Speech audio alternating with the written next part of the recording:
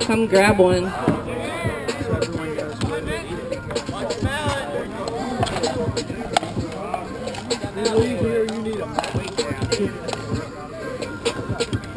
As well, if you have not signed a waiver or had a bike check done, you need to do that before you play these games. So come see me at the tent.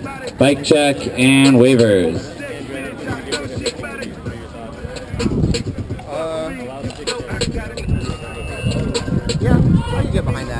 I mean, generally, if you're doing like hooking is usually a dynamically high risk anyway. Taking fold. Playing with dicks is.